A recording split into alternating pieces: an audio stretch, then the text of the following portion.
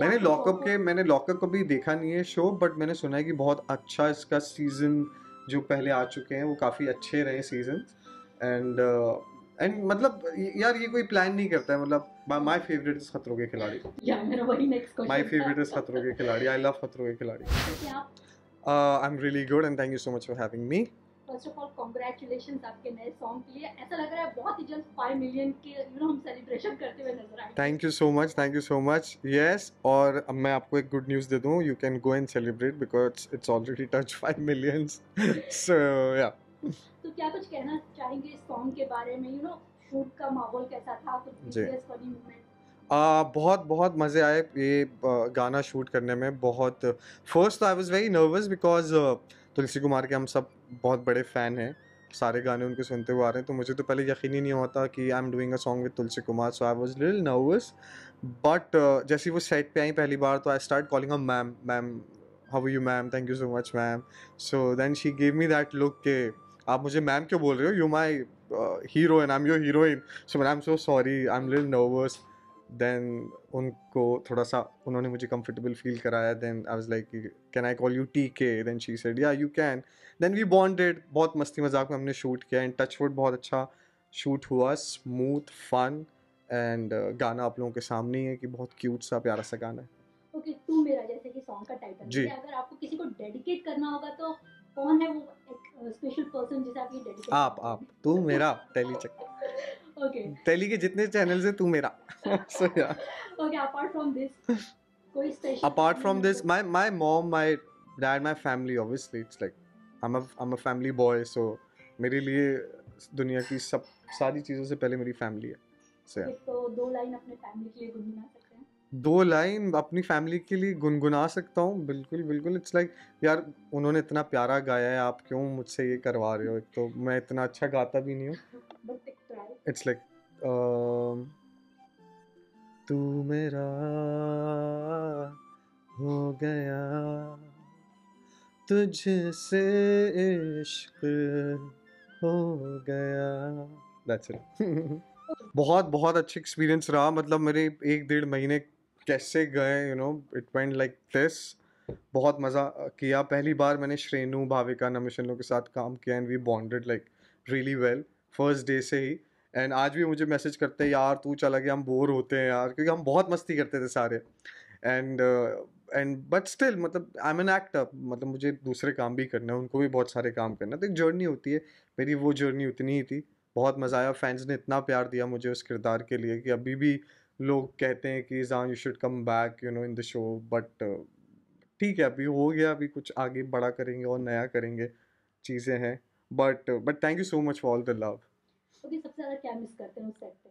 सबसे ज़्यादा उस सेट की लोकेशन को मिस करता हूँ बिकॉज़ की जो लोकेशन है वो मड आइलैंड में है। एक थोड़ा सा पहाड़ पे जाके खूबसूरत सा घर है। अ, बहुत बहुत प्यारी लोकेशन पे वो सेट बना इट्स वेरी पॉजिटिव ओके तू मेरा सॉन्ग की अगर हम बात करें तो कोई फनी मोमेंट आप शेयर करना चाहेंगे फैंस के साथ? Funny moment as in funny as in पूरा हमने गाना ही फन में निकाला है। We use to dance we use to make fun of each other मज़े भी करते थे।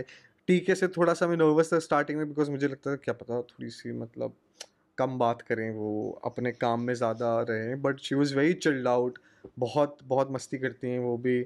और मैंने उनको बोला भी था आप प्लीज़ एक गाना सुनाओ मुझे। तो कहती मैं क्यों गाऊँ? हर जगह अब तुम गाओ। सो so, उनको मैंने एक गाना भी सुनाया था अपनी आवाज़ में। And she like that she was like oh you can sing तो मैंने हाँ मतलब थोड़ा बहुत अभी आपके सामने क्या तो बस यही सब मस्ती मज़ाक करके गोवा में थे तो गोवा में तो वैसी मस्ती है।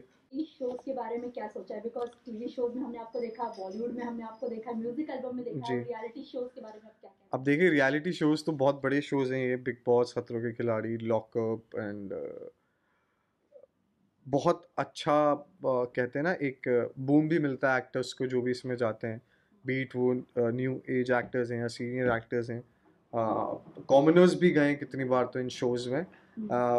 आई थिंक बहुत अच्छे शोज़ हैं बट लेट्स सी अगर कुछ अच्छा हुआ मेरे साथ आगे चल के कोई बात बनी कभी कुछ हुआ तो yeah would love to be a part of any reality show my favourite is Khatron Ke Khiladi yeah मेरा वही next question my favourite is Khatron Ke Khiladi I love Khatron के खिलाड़ी ओके कभी ऑफ़र मिला है? मतलब आपको ऑफ़र आता ही होगा बट आपने कभी जाने का ट्राई क्यों नहीं किया? देखिए मतलब ऑफ़र मतलब जब भी ऐसी कोई बात हुई है, मैं हमेशा कुछ ना कुछ करता ही रहता हूँ। मतलब कोई शो कर रहा हूँ। एक बार मैं क्यों थे दिल छुड़ाई कर रहा था, उससे पहले मैं एक जी टीवी का शो कर रहा था, उससे पहले मैं फ़िल्म कर रहा था। तो आई थिंक एक राइट टाइम जब होगा, जब चीज़ें होना होंगी आई थिंक अपने आप हो जाएँगी। तो क्या खतरों के खिलाड़ी सीज़न तेरह में हम आपको देखने वाले हैं? बिल्कुल अगर वो चाहेंगे मुझे दिखाना तो आप देख लेंगे।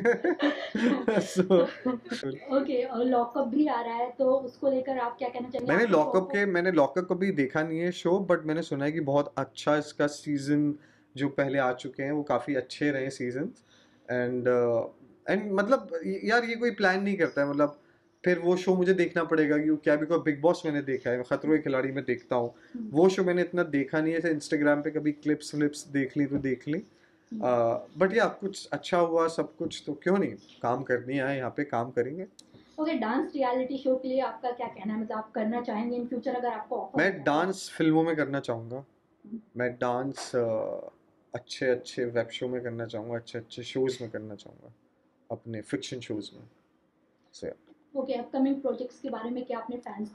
अपकमिंग प्रोजेक्ट्स ये हैं कि मैंने एक फ़िल्म की है सुधीर मिश्रा के साथ नवाजुद्दीन सिद्दीकी हैं भूमि पेडनेकर हैं मैं हूँ अफ़ा करके वो रिलीज़ होगी। Then this one more project बस करो अनवांटी for Hotstar Disney plus Hotstar की फ़िल्म है। अ, उसमें this this guest appearance kind of a role because now I believe you know if you wait for the right and very good opportunity as a main lead hero अगर आपके पास कोई godfather नहीं है बॉम्बे में तो वो थोड़ी बेवकूफ़ी भी होती है और बहुत वक्त भी लगता है। तो इट्स बेटर कि आप दिखते रहें अपना टैलेंट आप लोगों को दिखाते रहें और इंशाल्लाह एक दिन आपको वो सब मिलेगा जो आप डिज़र्व करते हैं। Message for fans message message यही होगा फैंस के लिए कि आप लोगों ने इतना प्यार दिया है सो प्लीज़ इसको रोकिए मत इसको बढ़ाते रहिए और आप सबको रमज़ान और नवरात्रि की बहुत बहुत शुभकामनाएँ और खूब प्रार्थना कीजिए दुआ कीजिए और मुझे मेरे घर वालों को हम सबको अपनी दुआओं में प्रार्थनाओं में याद रखियो मेरे गाने को देखिए तू मेरा को और उस पर खूब सारी रील्स बनाइए For top serials on sets to personal interviews and fun segments with actors, subscribe to Telebytes right away.